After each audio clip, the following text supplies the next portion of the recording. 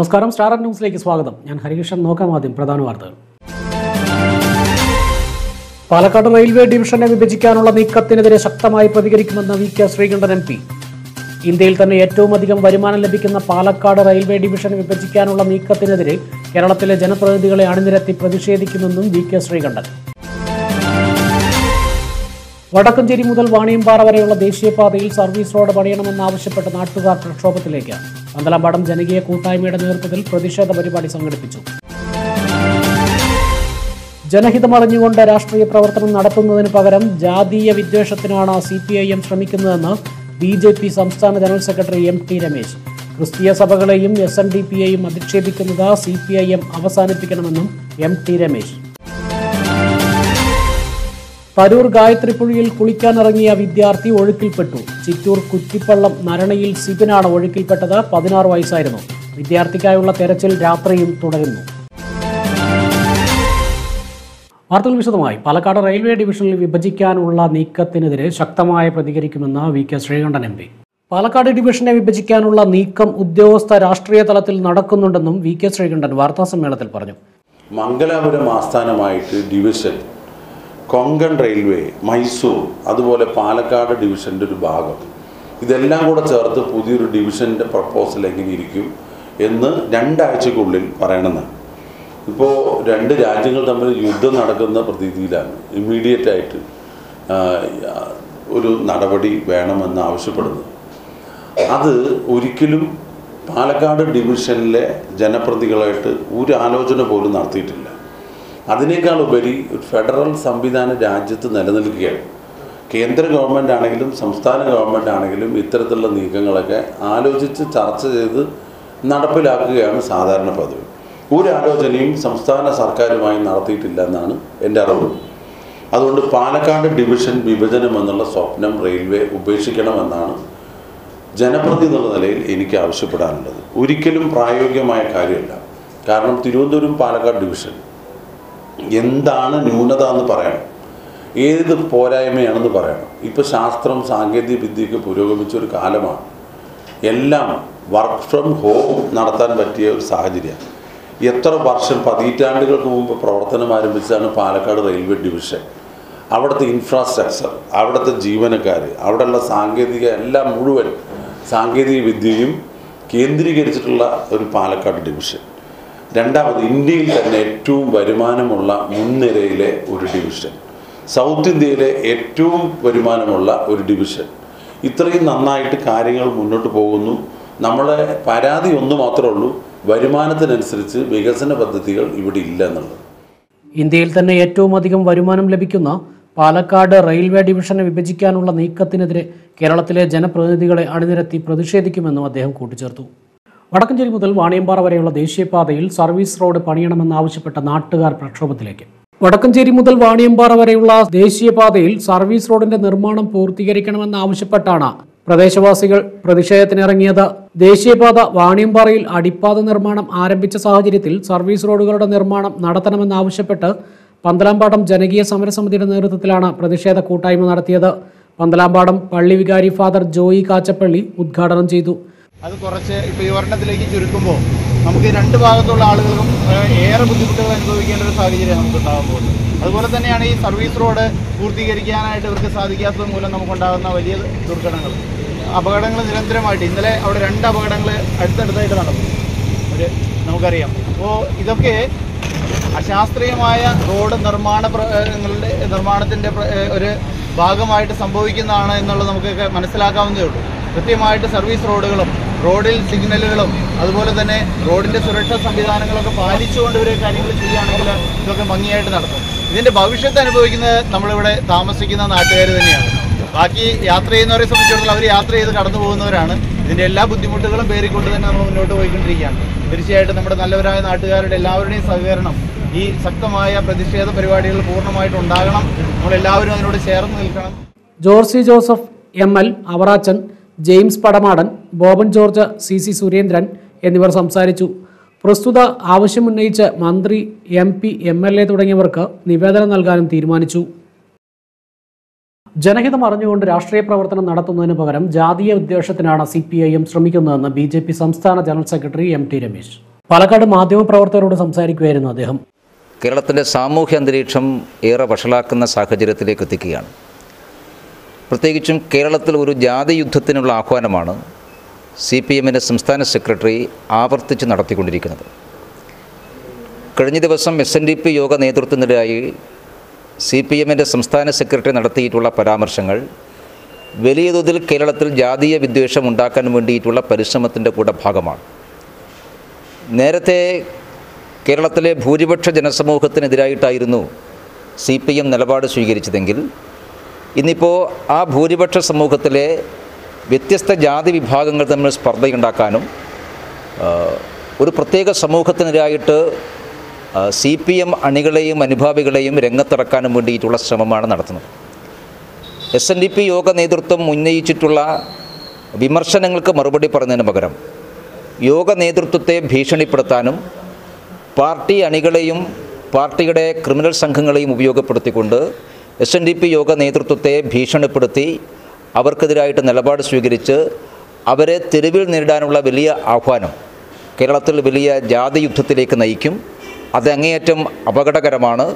അതുകൊണ്ട് വിനാശകരമായിട്ടുള്ള ഈ നിലപാട് നിന്ന് സി പി ഐ നേതൃത്വം പിന്നോട്ട് പോകണം.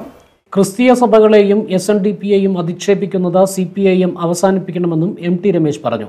പാർലമെന്റ് തെരഞ്ഞെടുപ്പിലെ തോൽവിയുടെ പാഠം ഉൾക്കൊണ്ട് തെറ്റുതിരുത്താൻ എൽ ഡി എഫും സി പി ഐ എമ്മും തയ്യാറാവണമെന്നും അദ്ദേഹം കൂട്ടിച്ചേർത്തു. തരൂർ ഗായത്രിപ്പുഴയിൽ കുളിക്കാനിറങ്ങിയ യുവാവ് ഒഴുക്കിൽപ്പെട്ടു. ചിറ്റൂർ കുറ്റിപ്പള്ളം നരണയിൽ സിബിനാണ് ഒഴുക്കിൽപ്പെട്ടത്. വിദ്യാർത്ഥിക്കായുള്ള തിരച്ചിൽ തുടരുന്നു. ചിറ്റൂർ കുറ്റിപ്പള്ളം നരണയിൽ പതിനാറ് വയസ്സുള്ള ആ സിബിലാണ് ഒഴുക്കിൽപ്പെട്ടത്. ശനിയാഴ്ച പകൽ പതിനൊന്ന് മണിയോടുകൂടിയാണ് ഇയാൾ ഒഴുക്കിൽപ്പെട്ടത്. മറ്റ് സുഹൃത്തുക്കളുമൊത്ത് മീൻ പിടിക്കാനായി തരൂർ തമ്പുരാൻ കെട്ടിയ കടവിൽ ഇറങ്ങുന്നതിനിടെയാണ് അപകടം. തരൂരിലുള്ള ബന്ധുവീട്ടിൽ താമസിച്ച് പഠിക്കുകയാണ് ഇയാൾ. പാലക്കാട് സ്കൂബ ടീമും ആലത്തൂർ അഗ്നിരക്ഷാ സേനയും ഇയാൾക്കായി തരൂർ കുരുത്തിക്കോട് പുതിയ പാലം പണി നടക്കുന്നതിനു സമീപം തെരച്ചിൽ നടത്തിയിരുന്നു. ഫലം കാണാതായതോടെ ദേശീയ ദുരന്തസേനയുടെ നേതൃത്വത്തിൽ രാത്രിയിലും തെരച്ചിൽ നടത്തി. ആലത്തൂർ സ്വകാര്യ ടെക്നിക്കൽ കോളേജിൽ ഒന്നാം വർഷ വിദ്യാർത്ഥിയാണ് Sibil. K Radhakrishnan M P P P Sumod M L A ജില്ലാ കളക്ടർ എസ് ചിത്ര തഹസിൽദാർ ജയശ്രീ ജനപ്രതിനിധികൾ തുടങ്ങിയവർ സ്ഥലത്തെത്തിയിരുന്നു.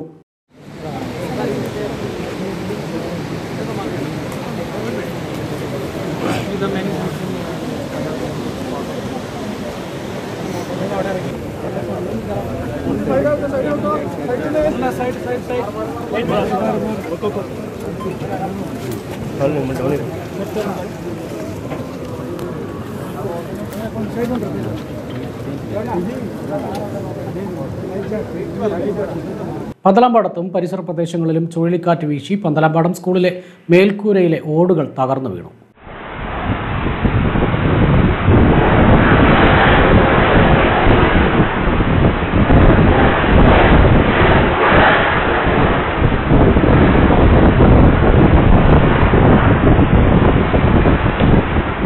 ശനിയാഴ്ച രാവിലെ ഒൻപത് മണിയോടുകൂടിയാണ് ചുഴലിക്കാറ്റ് വീശിയടിച്ചത്. പന്തലാമ്പാടം മേരിമാത ഹയർ സെക്കൻഡറി സ്കൂളിന്റെ മേൽക്കൂരയുടെ ഓടുകളും ആസ്പെറ്റോസും പറന്നുപോയി. ക്ലാസ് മുറികളിൽ ഓടുകളും വീണു. സ്കൂൾ അവധിയായതിനാൽ വിദ്യാർത്ഥികൾ ആരും തന്നെ ഉണ്ടാവാത്തതിനാലും വൻ ദുരന്തമൊഴിവായി ചുഴലിക്കാറ്റിനെ തുടർന്ന് പ്രദേശത്ത് നിരവധി മരങ്ങളും ഒടിഞ്ഞു വീണിട്ടുണ്ട്. എട്ടേ മുക്കാൽ കഴിഞ്ഞപ്പോൾ ശക്തമായ കാറ്റ് വീശി വീശിയതിൽ പള്ളിയുടെ അടുത്തുള്ള ഹാളിന്റെ മുകളിലെ ഷീറ്റുകൾ പറക്കുന്നതായിട്ടാണ് കണ്ടത്. നാല് ഷീറ്റുകൾ പറത്തി താഴെ ഇട്ടിട്ടുണ്ട്.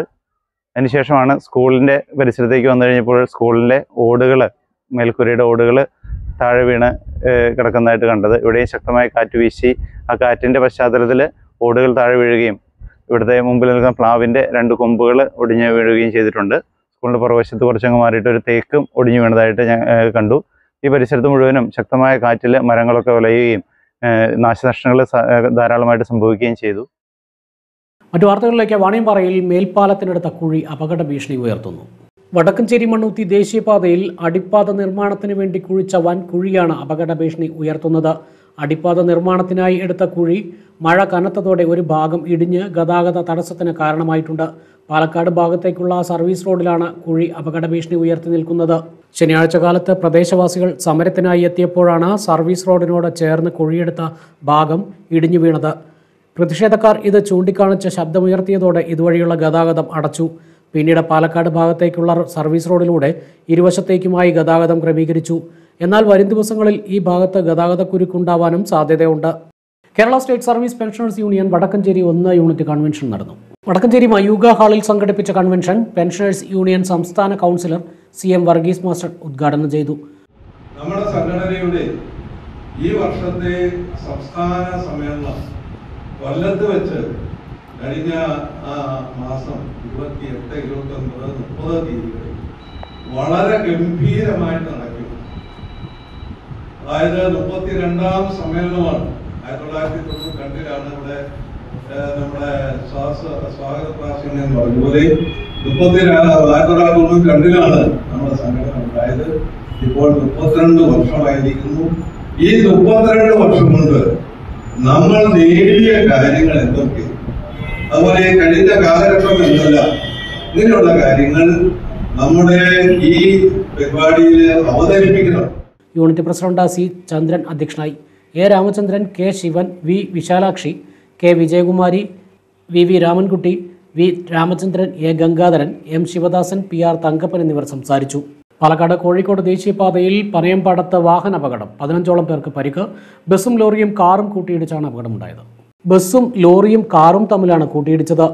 ബസ്സിലെ യാത്രക്കാരായ ആളുകൾക്കും ലോറി ഡ്രൈവർ കാർ യാത്രക്കാർ എന്നിവരായ പതിനഞ്ചോളം പേർക്ക് പരിക്കേറ്റു. ഇവർ തച്ചമ്പാറ സ്വകാര്യ ആശുപത്രിയിൽ ചികിത്സ തേടി. ആർക്കും സാരമായ പരിക്കില്ല. ശനിയാഴ്ച രാവിലെ ഏഴു മണിക്കാണ് സംഭവം. കോഴിക്കോട് നിന്നും പാലക്കാട് പോവുകയായിരുന്ന ബസ്സും എതിരെ വന്ന ലോറിയും തമ്മിലാണ് ഇടിച്ചത്. ലോറിക്ക് പുറകിൽ കാറും ഇടിക്കുകയായിരുന്നു. വളവും ഇറക്കവും ചേർന്ന് വരുന്ന ഈ ഭാഗത്ത് മഴ കൂടി ഉണ്ടായതിനാൽ വാഹനങ്ങൾ നിയന്ത്രണം വിട്ട് അപകടമുണ്ടാവുന്നത് പതിവാണ്. ഗുരുപൂർണിമ ദിനമായ ജൂലൈ ഇരുപത്തിയൊന്നിന് പാലക്കാട് ജ്ഞാനക്ഷേത്രത്തിൽ ഗുരുപൂർണിമ അനുഗ്രഹോത്സവം സംഘടിപ്പിക്കും. ഗുരുവിനോടുള്ള ആദരവും നന്ദിയും പ്രകടിപ്പിക്കുന്നതിനായാണ് ഗുരുപൂർണിമ ആഘോഷിക്കുന്നതെന്ന് ആർട്ട് ഓഫ് ലിവിംഗ് ഭാരവാഹികൾ വാർത്താസമ്മേളനത്തിൽ പറഞ്ഞു. ചടങ്ങിൽ ബ്രഹ്മചാരി ചിദാനന്ദയുടെ നേതൃത്വത്തിൽ അനുഗ്രഹ പ്രഭാഷണം നടത്തും. വാർത്താസമ്മേളനത്തിൽ K J Gokuldas advocate S Santhadevi Rajesh P Sunderkumar P Rajan എന്നിവർ പങ്കെടുത്തു. യഥാർത്ഥത്തിൽ ഗുരു പൂർണിമ എന്ന് പറയുന്നത് ഗുരു എന്ന വാക്കിനെ നമ്മളിൽ നിന്നും അന്ധകാരത്തെ മാറ്റി നമ്മളിലേക്ക് വെളിച്ചം തരുന്ന ആളാണ് ഗുരു. അപ്പോൾ നമുക്ക് ഈ സമയം വരെ പല രീതിയിൽ പല കാര്യങ്ങളായിട്ട് പല ഗുരുക്കന്മാരുണ്ടായിട്ടുണ്ട്.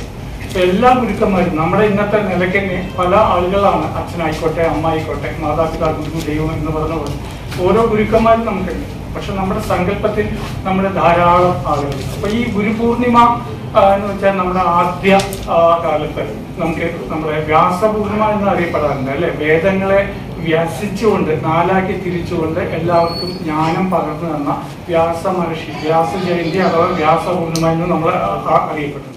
പ്രധാന വാർത്തകൾ ഒരിക്കൽ കൂടി. പാലക്കാട് റെയിൽവേ ഡിവിഷനെ വിഭജിക്കാനുള്ള നീക്കത്തിനെതിരെ ശക്തമായി പ്രതികരിക്കുമെന്ന് V K Sreekandan M P.